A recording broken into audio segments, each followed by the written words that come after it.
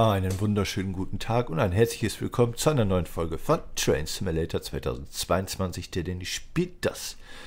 Wir werden uns heute ein wenig auf der neu erschienenen Strecke Passau-Regensburg rumtummeln und äh, werden heute einen kleinen Güterzug, ach Güterzug sage ich schon, äh, IC durchfahren. Äh, und zwar ist diese Strecke ja vor kurzem, genau gesagt vor zwei Tagen, bei den Kollegen von RSSLO äh, neu erschienen. Und äh, werden heute mal ein wenig hier die Strecke testen. Und äh, ich lese einfach mal vor. Heute müssen Sie wieder im Personenverkehr aushelfen, indem Sie einen Zug von Regensburg nach Plattling fahren. Lassen Sie die Fahrgäste am Bahnsteig zusteigen und dann geht es los. Ja, damit würde ich das Ganze mal starten. Öffne die Türen. Werden mal in den Führerstand gehen von dieser neuen Baureihe 147 und werden hier als erstes mal den Führerstandslicht einschalten. Und äh, das braucht man nicht, aber eigentlich wollte ich noch Zugspitzensignal einschalten. Das scheint hier aber irgendwie nicht zu funktionieren. Da müssen wir das anders machen. Und zwar... Der ist das. Ah, okay. Jetzt weiß ich Bescheid. Der war's. So, den braucht man nicht. Das lassen wir soweit. Aha. Das ist die Bremse. So, das schließen wir auch mal. Dynamische Bremse. Zugbremse ist noch angezogen. Okay. Ja, ich denke, das war's so ziemlich erstmal. 160 km/h VMAX. Und äh, ja. Fenster lassen sich auch öffnen. Wunderbar. So. Dann werden wir uns mal ein wenig hier noch in Regensburg umsehen. Würde ich sagen. Und äh,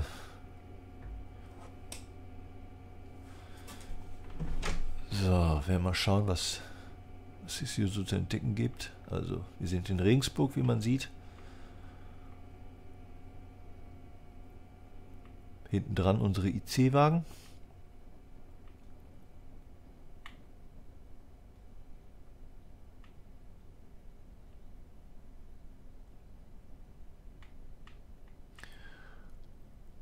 Ach, ich wollte noch schauen, ob wir Steuerwagen haben. Nein, aber das macht nichts. So, wir dürfen abfahren. Dann werden wir das natürlich tun. So, Türen sind geschlossen. Dann lösen wir die Bremse. So, und auf geht's. Äh. Jetzt geht's los.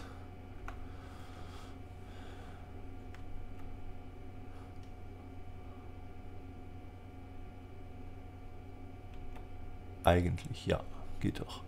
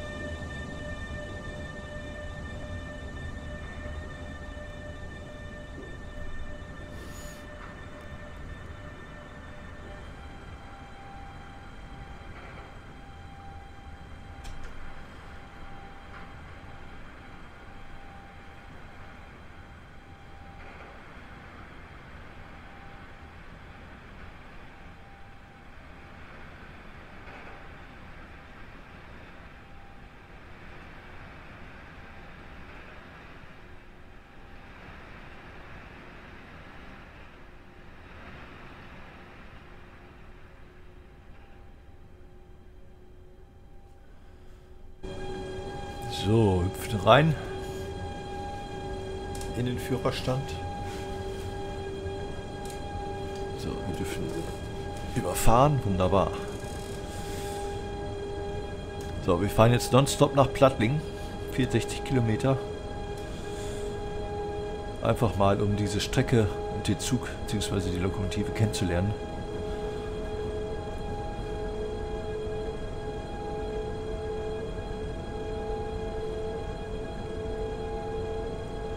Dürfen dann jetzt auch gleich auf 120 beschleunigen.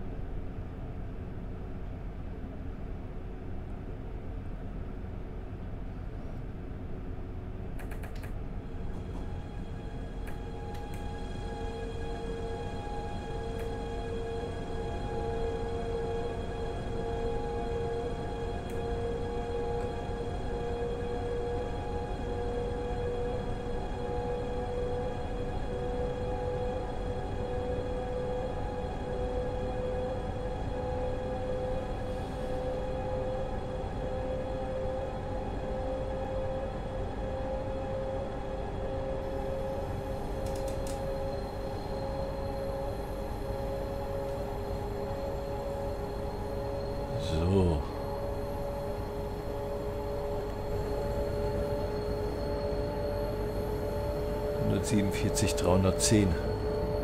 Wunderschöne Lok, muss man einfach sagen.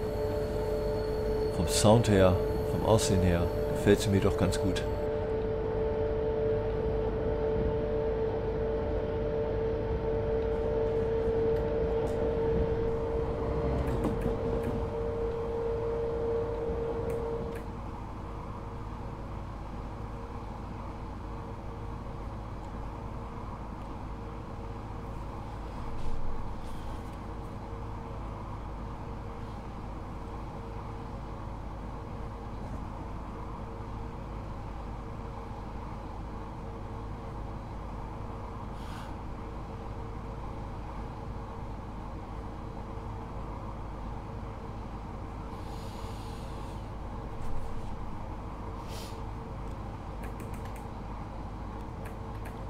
So, jetzt kommt gleich 160.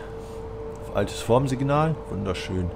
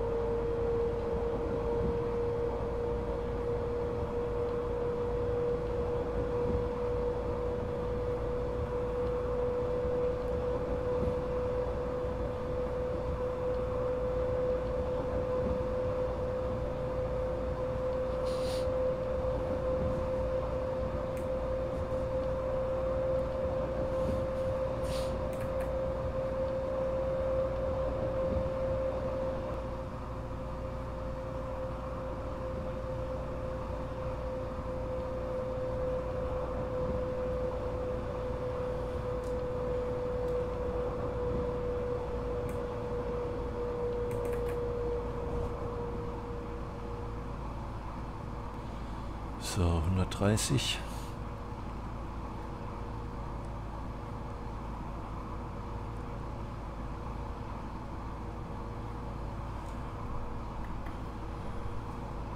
Passagieransicht ist leider nicht möglich. Aber ich glaube, damit kann man leben.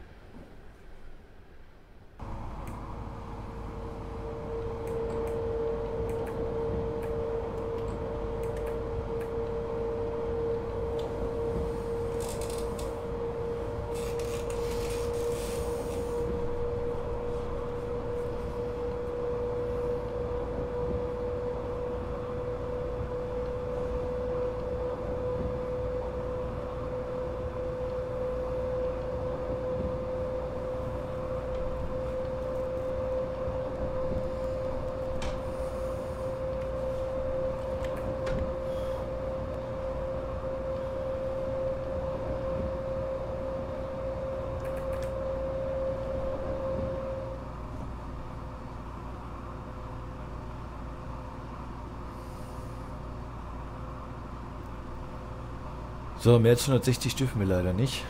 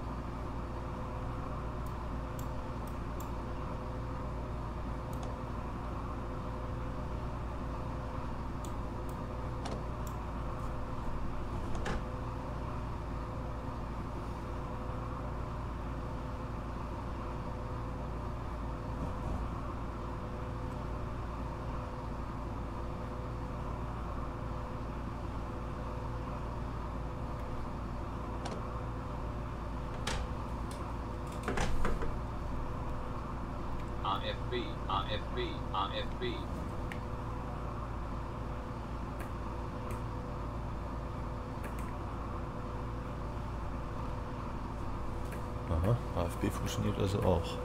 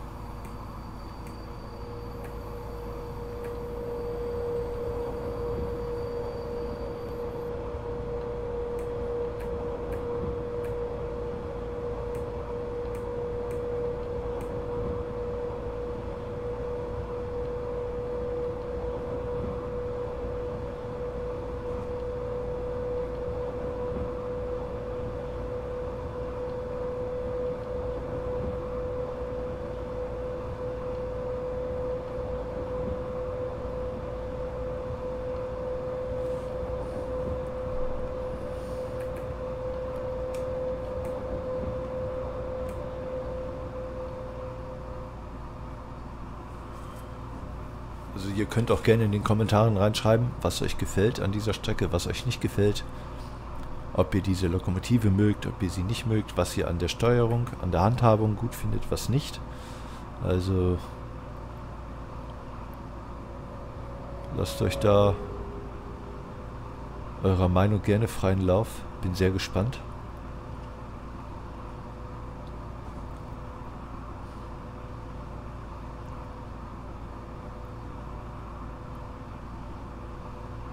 Es soll ja jetzt kommenden Donnerstag äh, bei Train Simber 2 die Taran-Rampe äh, veröffentlicht werden von Dovetail. Und äh, da bin ich schon sehr gespannt drauf. Und ich habe auch gelesen, dass sich da sehr viele sehr drauf freuen. Und äh, ich muss sagen, ich gehöre auch dazu. Und äh, werde auf jeden Fall auch ein Video drüber machen, ist ja selbstverständlich. Und äh, kann es eigentlich noch kaum erwarten, bis es endlich soweit ist.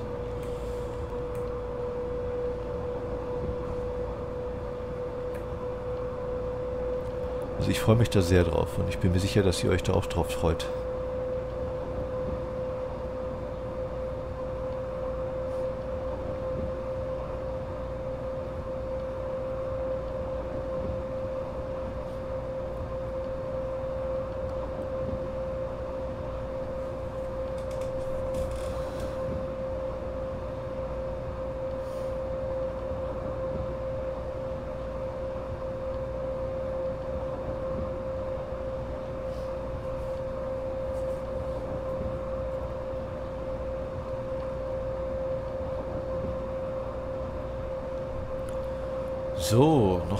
40 Kilometer bis Plattling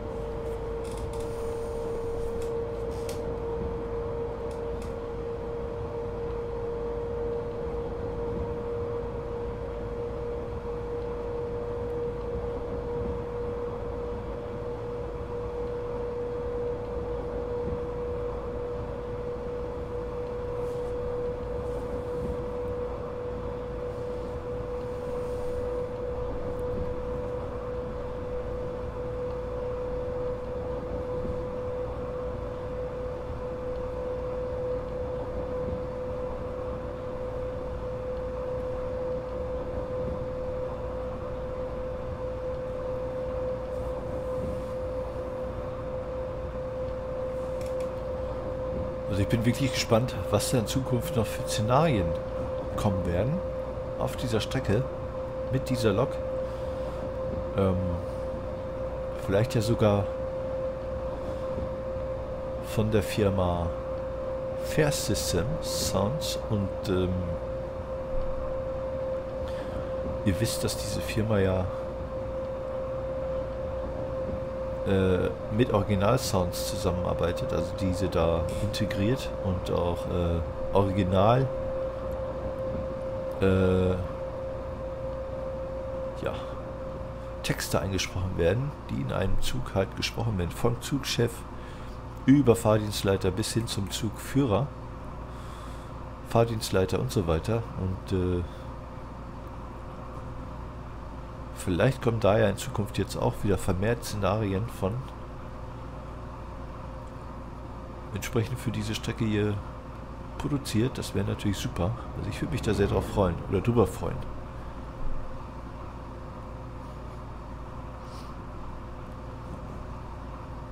So, wo sind wir denn hier eigentlich schon? Würde mich doch jetzt mal interessieren. In Raldorf, Niederbayern. So, so, in Niederbayern sind wir. Na dann.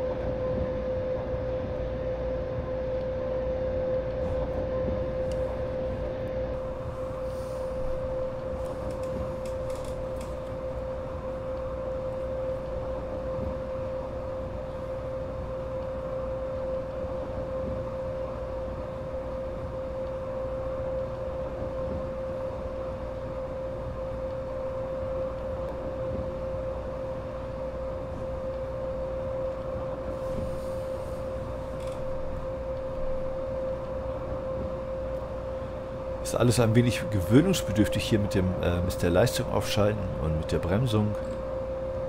Also. Aber wenn man sich da einmal dran gewöhnt hat, finde ich, geht das.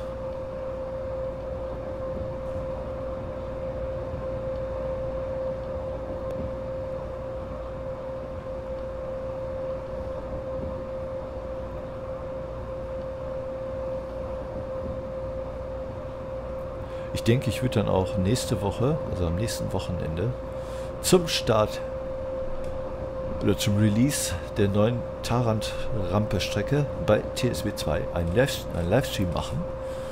Und äh, dann kommt auch meine neue Webcam endlich im, zum Einsatz. Und äh, ja, ich denke, das werde ich dann auch so machen.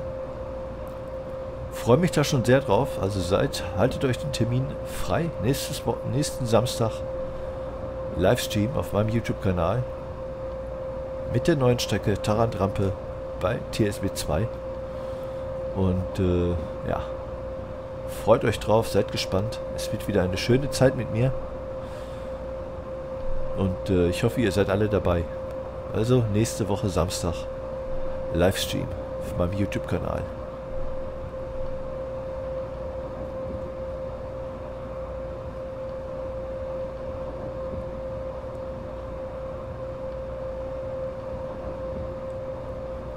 Denke, es wird sich dann ungefähr um die gleiche Uhrzeit abspielen, so zwischen 10 und 11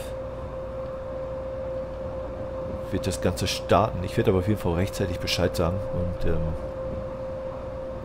damit ihr da keine Sekunde verpasst. Versprochen.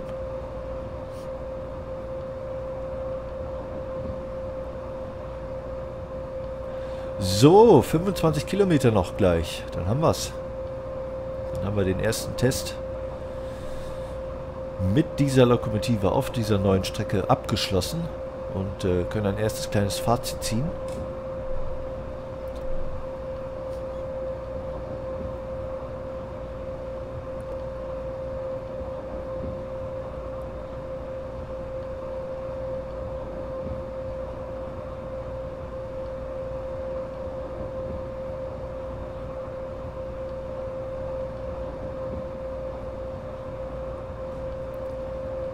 Also meine Meinung, es könnte ein wenig mehr KI-Verkehr sein.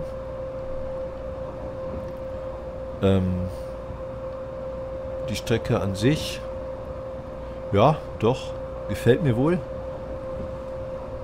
Äh, die Lok vom Sound her wunderbar. Von der Handhabe her, naja, man hätte es anders lösen können. Aber wenn man sich dran gewöhnt hat, geht es. Ihr seht es ja selber, es funktioniert. Und äh, ja, alles in allem, es ist Gewöhnungssache. Also ich denke, die Strecke ist äh, gelungen. Es ist eine sehr schöne Strecke. Und ähm, das ist jetzt auch nur ein Teil äh, bis Plattling. Also wenn man wirklich bis Passau fährt, Entschuldigung, dann äh, fährt man doch eine ganze Ecke weiter. Und äh, ja. Also alles in allem ist es ein sehr schönes Szenario für den, für den Anfang, um einzusteigen in die Strecke. Und äh, die Lok an sich gefällt mir auch. Also ich bin da sehr positiv überrascht, muss ich ehrlich sagen. Und äh, von meiner Seite her gibt es da eine locker eine 2 bis 1 bis 2. So.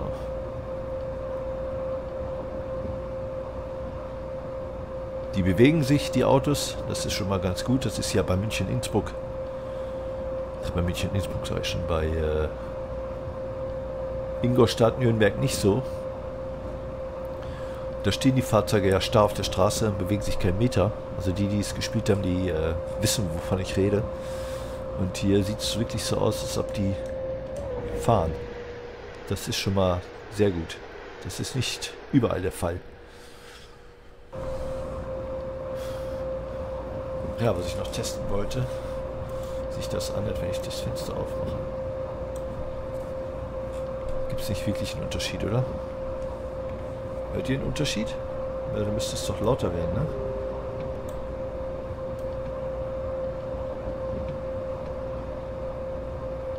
Schade, es gibt keinen Unterschied.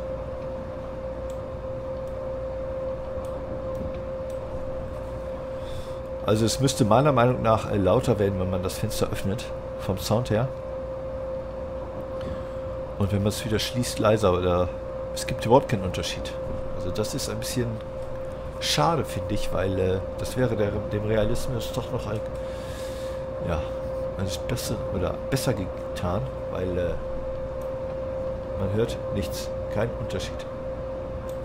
Man kann es auch genauso gut auflassen, es stört nicht.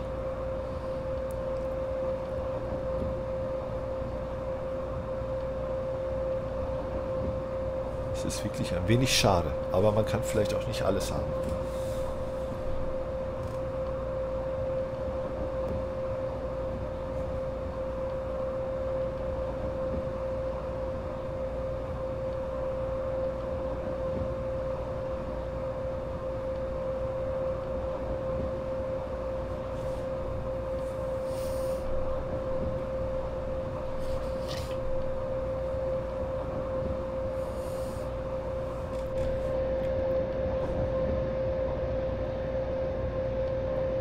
Also man kann sagen, was man will. Die Lok ist schön. Auch von den Spitzenlichtern her. Also doch, gefällt mir. Der Kollege hat da überhaupt nichts zu tun. Sitzt da ganz gechillt.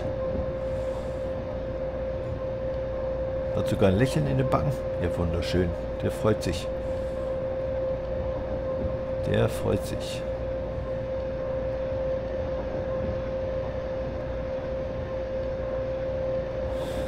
So, wir freuen uns auch, weil wir nämlich jetzt gleich abbremsen dürfen. Und zwar auf 140.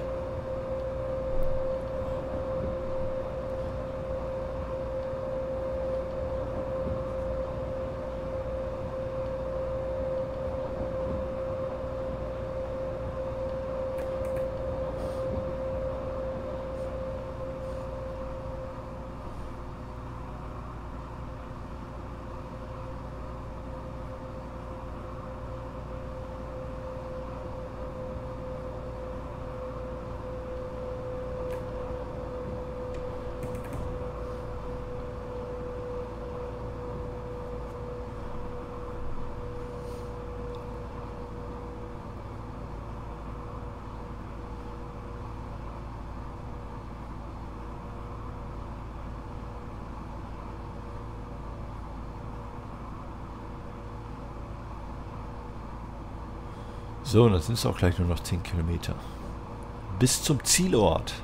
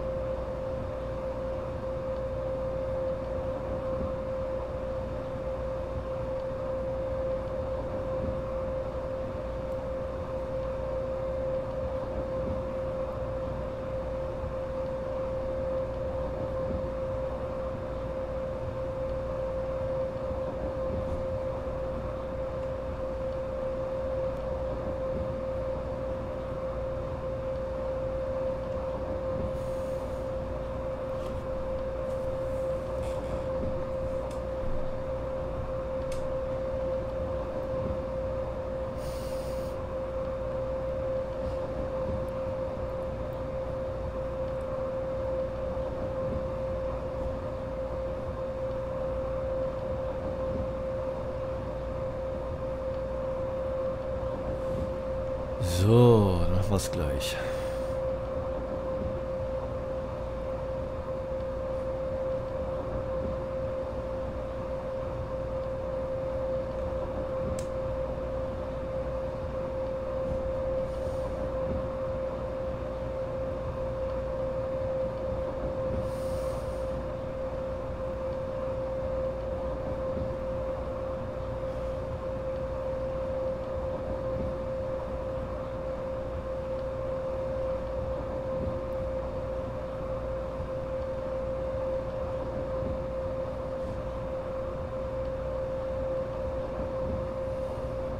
Schade, dass keine Ansagen dabei sind, aber das wird wahrscheinlich noch in anderen Szenarien kommen, die jetzt nach und nach mit Sicherheit rauskommen, auch bei RaySim, die dann dort downzuladen sind oder downloadbar sind. Und äh, ja. Also ich freue mich drauf, was, auf alles, was da kommt. An Szenarien, an äh, Fahrzeugen und so weiter und so fort. Also ich glaube, das wird ein richtig schönes Jahr.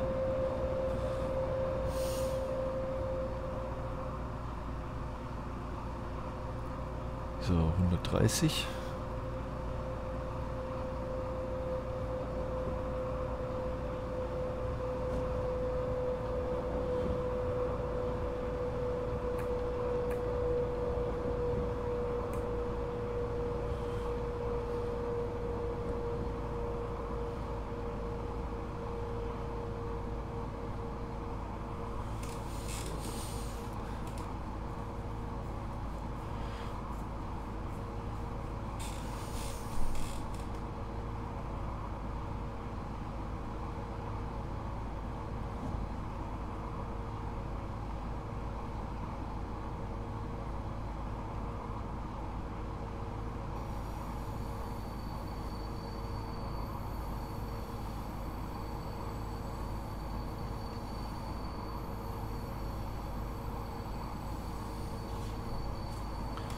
So, da kommt doch schon so Ziel. Auf Bernsteig 3. So, ich glaube, groß aufschalten brauche ich jetzt nicht mehr. Für die letzten zweieinhalb Kilometer. Nicht mal mehr. Lass uns jetzt schön sanft in den Bahnhof einrollen.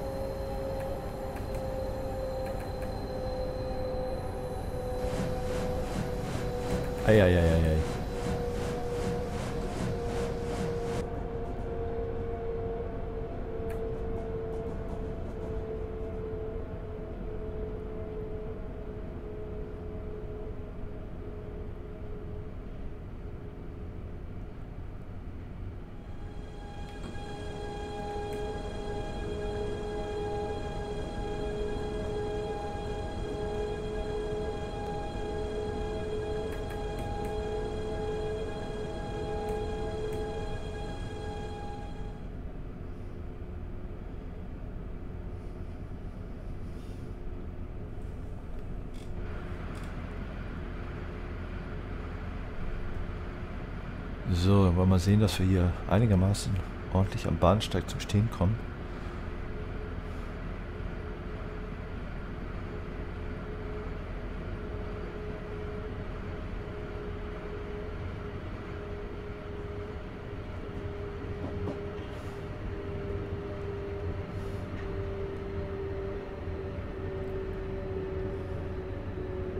Das sieht doch gut aus.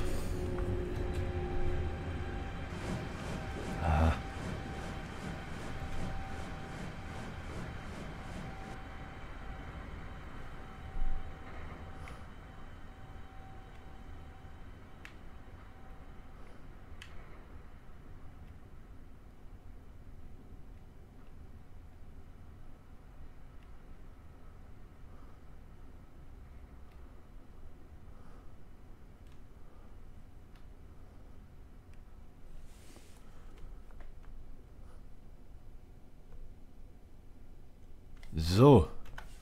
Öffne die Türen.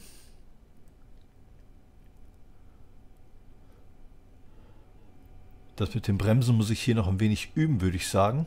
Aber es ist noch kein Meister vom Himmel gefallen. Und äh, ich denke, dass ich das in, dass ich das in den kommenden Szenarien in den Griff kriegen werde. Äh, ja, das war's erstmal mit diesem kurzen Video. Ich würde sagen, wenn es euch gefallen hat, lasst einen Daumen nach oben da. Wenn nicht, ups, macht wie immer gar nichts. Äh, passt auf euch auf, bleibt gesund, bleibt mir treu. Äh, wir hören uns dann aller, aller spätestens nächste Woche Samstag wieder, beziehungsweise ihr mich, äh, zum Livestream. Vergesst das nicht, ich sag's gerne nochmal. Nächste Woche Samstag Livestream auf meinem YouTube-Kanal. Alles zu der Neuerscheinung bei Train World 2, der Taran-Rampe. Und äh, ja, wenn euch dieses Video gefallen hat, lasst einen Daumen nach oben da. Äh, für alle die, die sich neu auf meinem Kanal verirren und denen es gefällt, was ich da so mache, lasst äh, ein Abo da, aktiviert die Glocke und äh, ja. Wir hören uns dann aller spätestens nächste Woche Samstag wieder. Bis dahin, macht's gut. Ciao, Servus und Tschüss. Euer der Danny Spielters. Ciao, ciao.